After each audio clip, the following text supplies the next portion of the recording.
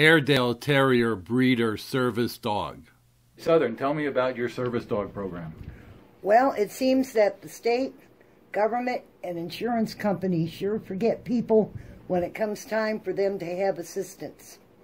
Uh, we have been donating dogs now for the last 10, 12 years.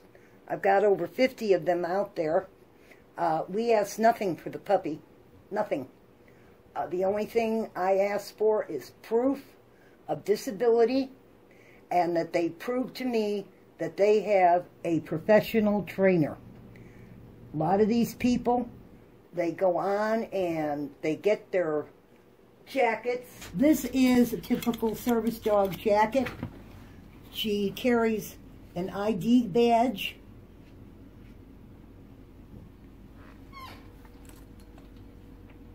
We, like I said, we don't charge anything for a pup. The only thing we request is that they pay the shipping to get to them and immediately they start their training. Eight weeks is not too young to start a service dog. How long typically does it take to train for a service dog? Depends on the disability. Mm -hmm. On her, uh, when I fall, all I have to do is hang on to straps on this or hooks and I can pull myself up. It took her about five months to get her. Mm -hmm. And then there's more intense training. Uh, there is like for diabetes, being able to uh, detect when somebody's got a high spike in their sugar or their sugars are bottoming out. And that's all done with placebos, and we work on it.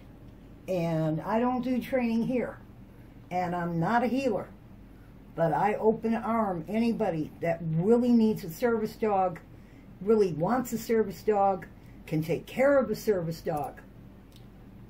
I will not place them in homes where they are not utilized. Well, I think that's a great program for you. It's, Thank you. Uh, great to show that uh, not only do you care about the people, you care about the dogs, and the dogs are helping the people. Many years ago, when I was very young, we lived in the swamp, and my mother was taking me to school one day, and they had just built a building out in the swamp. Nobody exactly knew who it, what it was, and ended up to be a school, school for children with disabilities. I mean, name it, they were there. Autism, uh, blind, deaf, mute, um, kids in wheelchairs. And the one thing I remember is my mother sat parked across the street from the school was this young couple coming out the door and they were looking at back at the door, and it was obvious that they had left their child there to go to school, and they were crying. They were holding each other up, crying. That impacted me. So, 10 years ago, I decided, hey, there, there's a lot more children in the world than what I knew about. There's a lot more people in the world than what I knew about. And these people needed help. So that's exactly what I did. I help. Well, that's great. That's a great program. Anybody who's interested in that, we're going to have a link at the bottom where you could send your information in an email and uh, we'll get it to Southern to take a look at it. If you enjoyed this Airedale Terrier video, please give us a thumbs up and subscribe to this channel so you don't miss any of our future videos.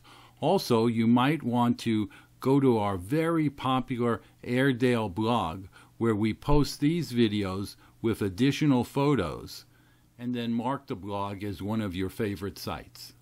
Thanks for watching.